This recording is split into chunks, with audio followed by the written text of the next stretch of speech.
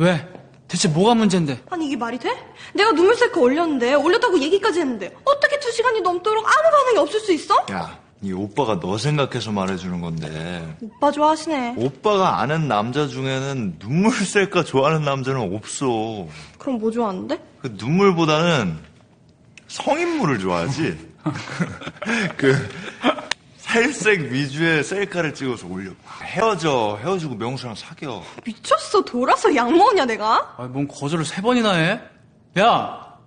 난 너 싫지 않다. 네?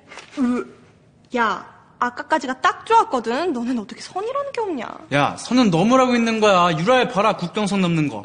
걔 탄이 보러 미국 갔더라. 너도 보고 싶으면 좀 가! 여기서 행패 부리지 말고. 싸움이야, 나보다 이거 나가 잘하지. 누가?